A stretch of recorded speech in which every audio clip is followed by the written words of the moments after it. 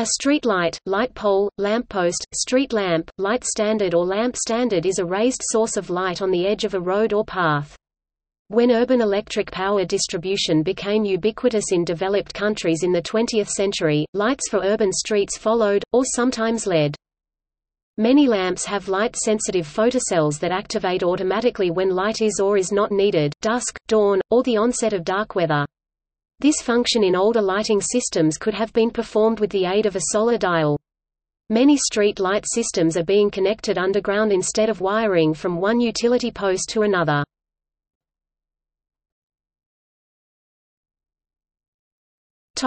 History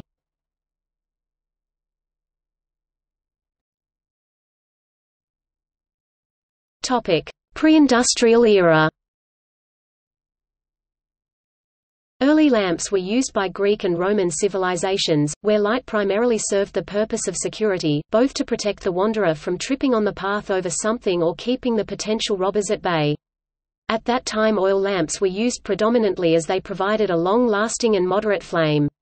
The Romans had a word lanternarius, which was a term for a slave responsible for lighting the oil lamps in front of their villas. The use of street lighting was first recorded in the city of Antioch from the 4th century. Later it was recorded in the Caliphate of Córdoba from the 9th–10th centuries, especially in Cordova. In the Middle Ages, so-called link boys escorted people from one place to another through the murky winding streets of medieval towns. Before incandescent lamps, candle lighting was employed in cities. The earliest lamps required that a lamplighter tour the town at dusk, lighting each of the lamps. According to some sources, illumination was ordered in London in 1417 by Sir Henry Barton, Mayor of London though there is no firm evidence of this. In 1524, Paris house owners were required to have lanterns with candles lit in front of their houses at night, but the law was often ignored.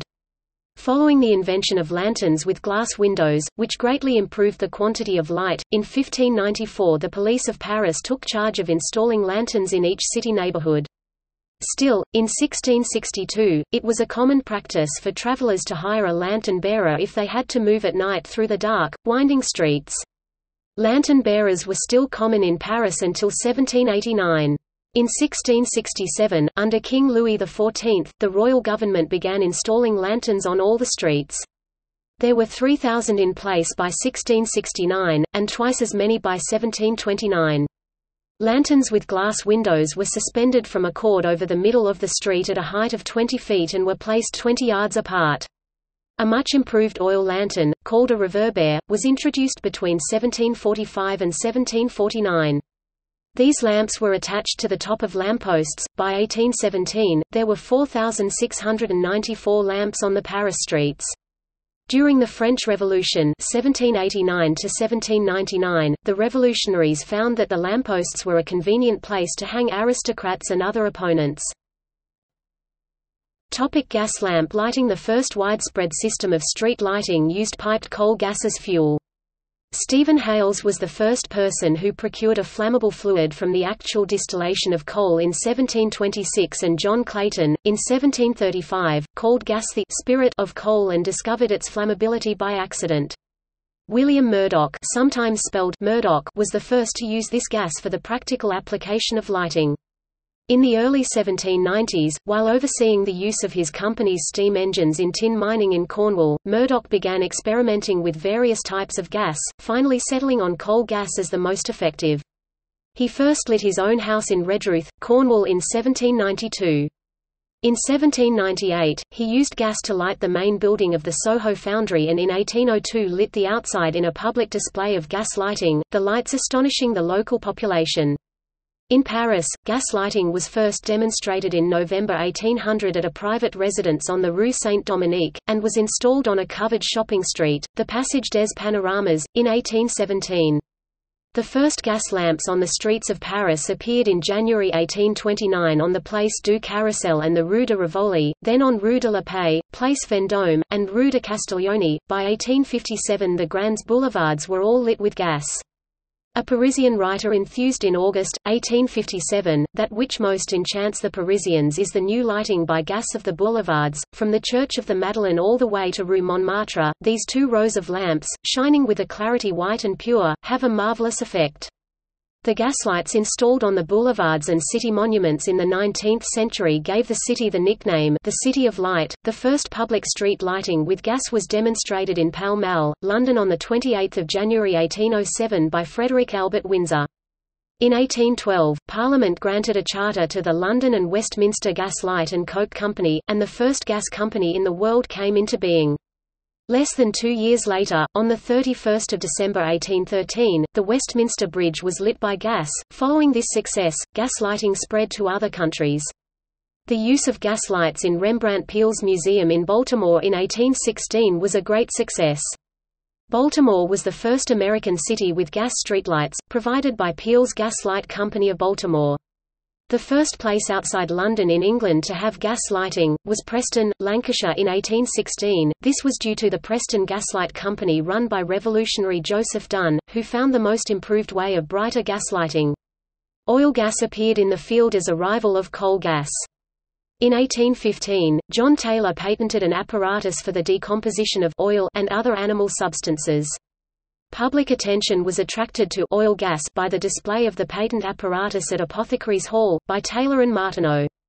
The first modern street lamps to use kerosene were introduced in Lviv in what was then the Austrian Empire in 1853. In Brest, street lighting with kerosene lamps reappeared in 2009 in the shopping street as a tourist attraction.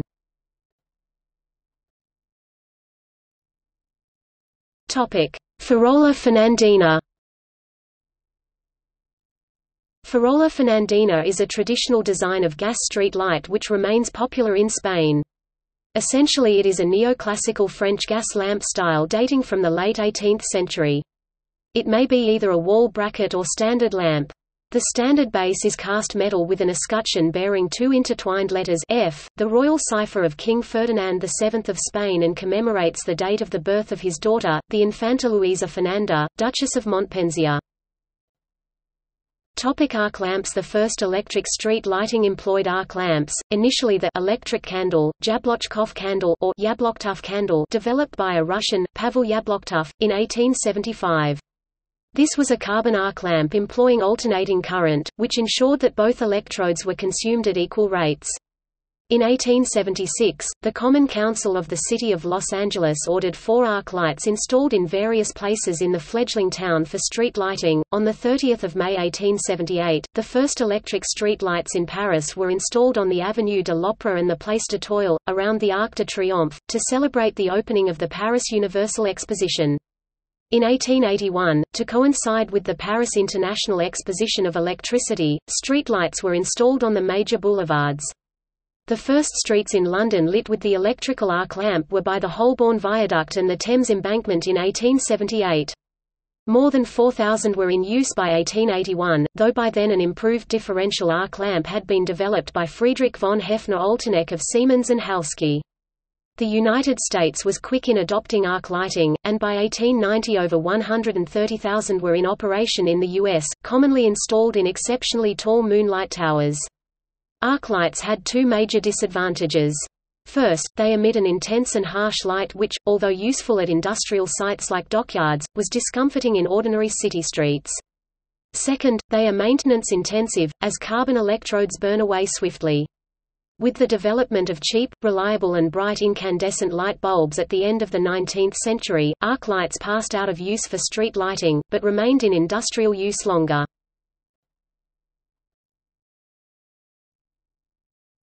Topic: Incandescent lighting. The first street to be lit by an incandescent light bulb was Mosley Street, in Newcastle upon Tyne. The street was lit for one night by Joseph Swan's incandescent lamp on 3 February 1879. Consequently, Newcastle has the first city street in the world to be lit by electric lighting. The first city in the United States to successfully demonstrate electric lighting was Cleveland, Ohio with 12 electric lights around the public square road system on 29 April 1879. Wabash, Indiana lit four brush arc lamps with 3,000 candle power each, suspended over their courthouse on 2 February 1880. Kimberley, South Africa, was the first city in the Southern Hemisphere and in Africa to have electric street lights, with 16 first lit on 2 September 1882. In Central America, San Jose, Costa Rica lit 25 lamps powered by a hydroelectric plant on August 9, 1884. Nuremberg was the first city in Germany to have electric public lighting on 7 June 1882, followed by Berlin on 20 September 1882 Potsdamer Platz only. Timișoara, in present-day Romania, was the first city in the Austrian-Hungarian monarchy to have electric public lighting on 12 November 1884. 731 lamps were used. In 1886, the tiny, isolated mining town of Waratah in NW Tasmania was the first to have electrically powered street lighting in Australia. On 9 December 1882 Brisbane, Queensland Australia was introduced to electricity by having a demonstration of eight arc lights, erected along Queen Street Mall. The power to supply these arc lights was taken from a 10-horsepower Crompton DC generator driven by a Robey steam engine in a small foundry in Adelaide Street and occupied by J. W. Sutton & Co. The lamps were erected on cast iron standards, 20 feet in height.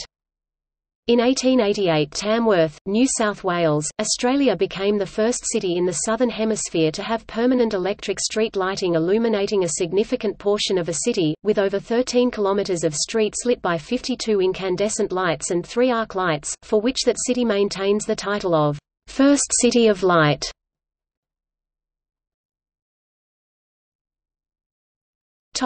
Later developments Incandescent lamps were primarily used for street lighting until the advent of high-intensity gas discharge lamps. They were often operated at high-voltage series circuits. Series circuits were popular since their higher voltage produced more light per watt consumed. Furthermore, before the invention of photoelectric controls, a single switch or clock could control all the lights in an entire district. To avoid having the entire system go dark if a single lamp burned out, each street lamp was equipped with a device that ensured that the circuit would remain intact. Early series street lights were equipped with isolation transformers, that would allow current to pass across the transformer whether the bulb worked or not. Later the film cutout was invented. This was a small disc of insulating film that separated two contacts connected to the two wires leading to the lamp. If the lamp failed an open circuit, the current through the string became zero, causing the voltage of the circuit thousands of volts to be imposed across the insulating film, penetrating it see Ohm's law. In this way, the failed lamp was bypassed and power restored to the rest of the district. The street light circuit contained an automatic current regulator, preventing the current from increasing as lamps burned out, preserving the life of the remaining lamps. When the failed lamp was replaced, a new piece of film was installed, once again separating the contacts in the cutout. This system was recognizable by the large porcelain insulator separating the lamp and reflector from the mounting arm. This was necessary because the two contacts in the lamp's base may have operated at several thousand volts above ground.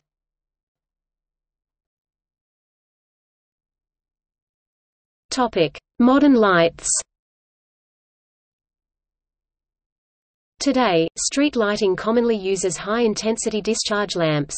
Low-pressure sodium lamps became commonplace after World War II for their low power consumption and long life. Late in the 20th century HPS high-pressure sodium lamps were preferred, taking further the same virtues. Such lamps provide the greatest amount of photopic illumination for the least consumption of electricity. However, white light sources have been shown to double driver peripheral vision and improve driver brake reaction time by at least 25%, to enable pedestrians to better detect pavement trip hazards and to facilitate visual appraisals of other people associated with interpersonal judgments. Studies comparing metal halide and high-pressure sodium lamps have shown that at equal photopic light levels, a street scene illuminated at night by a metal halide lighting system was reliably seen as brighter and safer than the same scene illuminated by a high-pressure sodium system. Two national standards now allow for variation in illuminance when using lamps of different spectra. In Australia, HPS lamp performance needs to be reduced by a minimum value of 75%. In the UK, illuminances are reduced with higher values S, P. New street lighting technologies, such as LED or induction lights, emit a white light that provides high levels of scotopic lumens allowing street lights with lower wattages and lower photopic lumens to replace existing street lights. However, there have been no formal specifications written around photopic, scotopic adjustments for different types of light sources, causing many municipalities and street departments to hold back on implementation of these new technologies until the standards are updated. Eastbourne in East Sussex UK is currently undergoing a project to see 6,000 of its street lights converted to LED and will be closely followed by Hastings in early 2014. Milan, Italy, is the first major city to have entirely switched to LED lighting. In North America, the city of Mississauga, Canada, was one of the first and biggest LED conversion projects with over 46,000 lights converted to LED technology between 2012 and 2014. It is also one of the first cities in North America to use smart city technology to control the lights. Dimonoff, a company based in Quebec City, was chosen as a smart city partner for this project. Photovoltaic powered LED luminaires are gaining wider acceptance. Preliminary field tests show that some LED luminaires are energy efficient and perform well in testing environments. In 2007, the Civil Twilight Collective created a variant of the conventional LED streetlight, namely the lunar resonant streetlight. These lights increase or decrease the intensity of the streetlight according to the lunar light. This streetlight design thus reduces energy consumption as well as light pollution.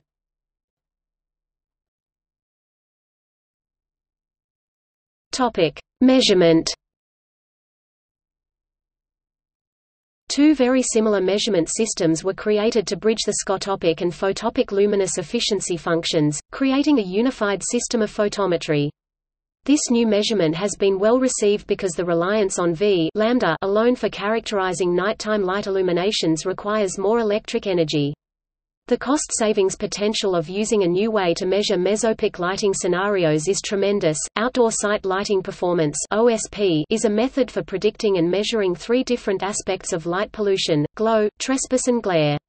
Using this method, lighting specifiers can quantify the performance of existing and planned lighting designs and applications to minimize excessive or obtrusive light leaving the boundaries of a property.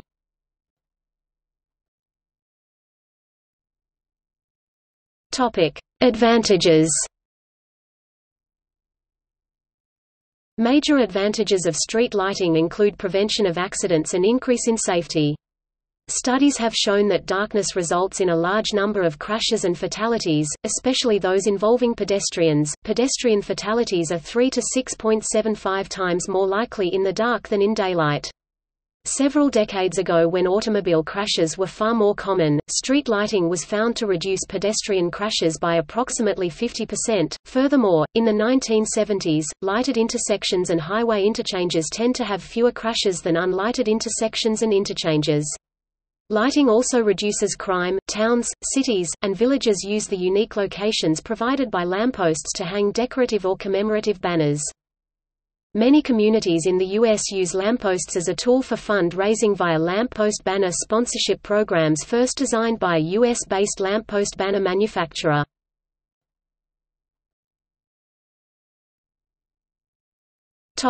Disadvantages The major criticisms of street lighting are that it can actually cause accidents if misused, and cause light pollution.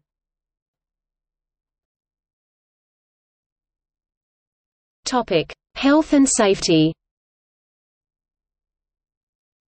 There are two optical phenomena that need to be recognized in street light installations. The loss of night vision because of the accommodation reflex of driver's eyes is the greatest danger.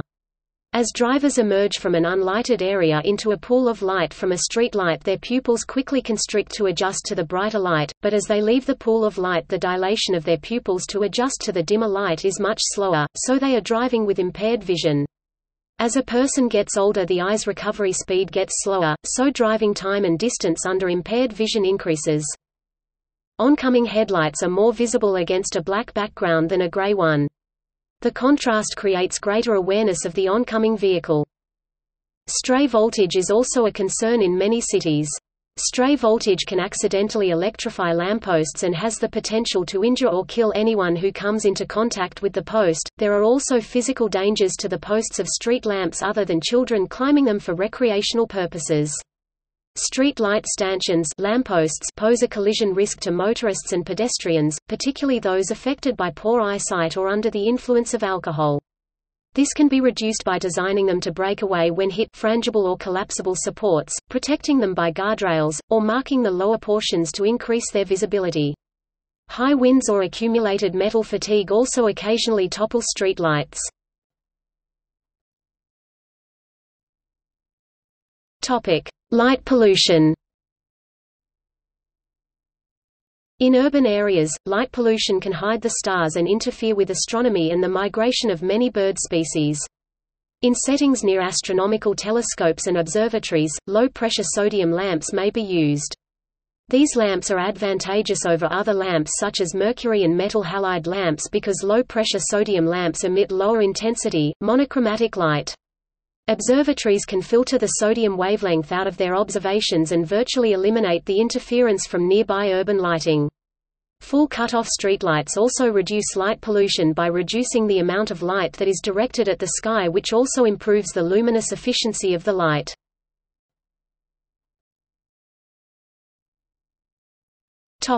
Energy consumption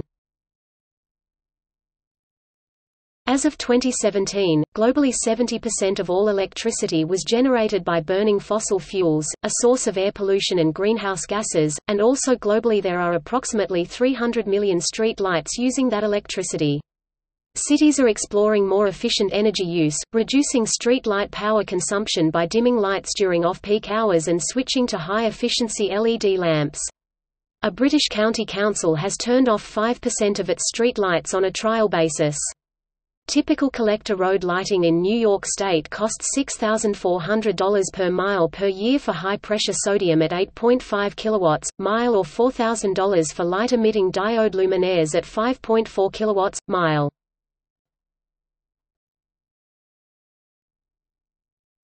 Topic: Street light control systems.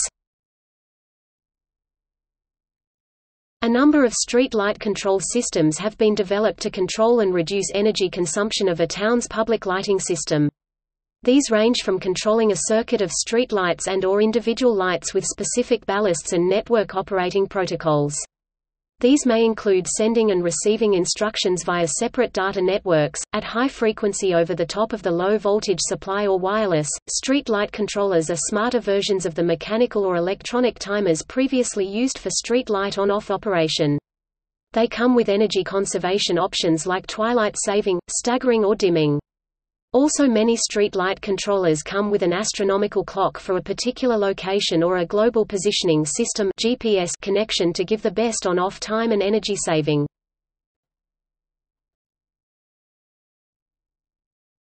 Topic: Accessories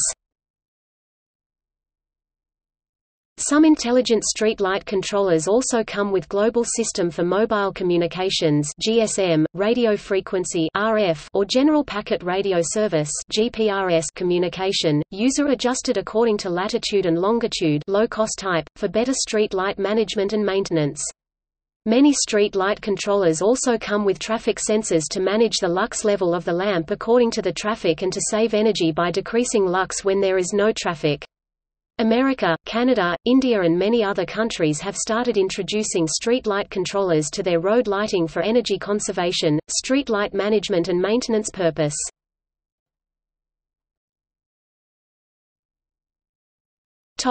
Economics Street light controllers can be expensive in comparison with normal timers, and can cost between $100 and $2,500, but most of them return the investment between six months and two years. As the equipment's lifetime is 7 to 10 years it saves energy and cost for some years.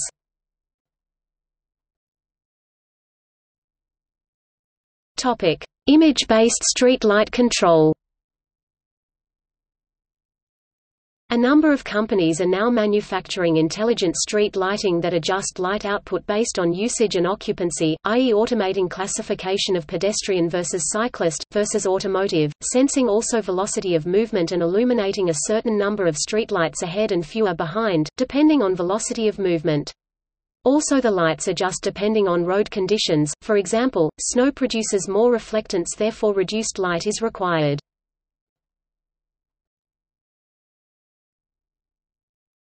Topic: Purpose.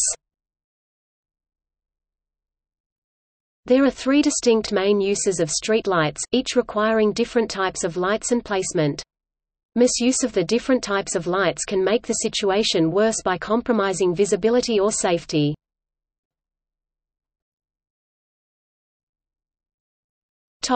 Beacon lights A modest steady light at the intersection of two roads is an aid to navigation because it helps a driver see the location of a side road as they come closer to it and they can adjust their braking and know exactly where to turn if they intend to leave the main road or see vehicles or pedestrians. A beacon light's function is to say, "'Here I am'", and even a dim light provides enough contrast against the dark night to serve the purpose. To prevent the dangers caused by a car driving through a pool of light, a beacon light must never shine onto the main road, and not brightly onto the side road. In residential areas, this is usually the only appropriate lighting, and it has the bonus side effect of providing spill lighting onto any sidewalk there for the benefit of pedestrians. On interstate highways this purpose is commonly served by placing reflectors at the sides of the road.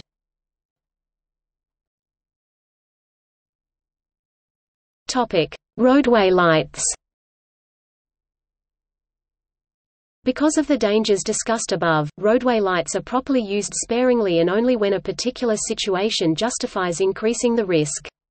This usually involves an intersection with several turning movements and much signage, situations where drivers must take in much information quickly that is not in the headlight's beam.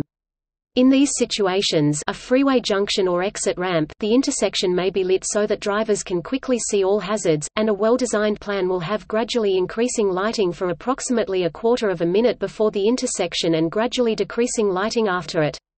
The main stretches of highways remain unlighted to preserve the driver's night vision and increase the visibility of oncoming headlights. If there is a sharp curve where headlights will not illuminate the road, a light on the outside of the curve is often justified. If it is desired to light a roadway perhaps due to heavy and fast multi-lane traffic, to avoid the dangers of casual placement of street lights it should not be lit intermittently, as this requires repeated eye readjustment which implies eye strain and temporary blindness when entering and leaving light pools. In this case the system is designed to eliminate the need for headlights. This is usually achieved with bright lights placed on high poles at close regular intervals so that there is consistent light along the route. The lighting goes from curb to curb. Further information, pedestrian crossing hashtag lighting. Topic: Cycle path lights. Policies that encourage utility cycling have been proposed and implemented, including lighting bike paths to increase safety at night.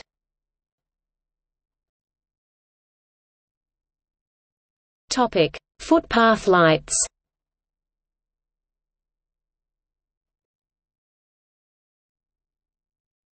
Topic: Maintenance. Street lighting systems require ongoing maintenance, which can be classified as either reactive or preventative. Reactive maintenance is a direct response to a lighting failure, such as replacing a discharge lamp after it has failed, or replacing an entire lighting unit after it has been hit by a vehicle. Preventative maintenance is scheduled replacement of lighting components, for example replacing all of the discharge lamps in an area of the city when they have reached 85% of their expected life. In the United Kingdom the Roads Liaison Group has issued a code of practice recommending specific reactive and preventative maintenance procedures. Some streetlights in New York City have an orange or red light on top of the luminaire light fixture or a red light attached to the lamppost. This indicates that near to this lighting pole or in the same intersection, there is a fire alarm pull box. Other streetlights have a small red light next to the street light bulb. When the small light flashes, it indicates an issue with the electrical current.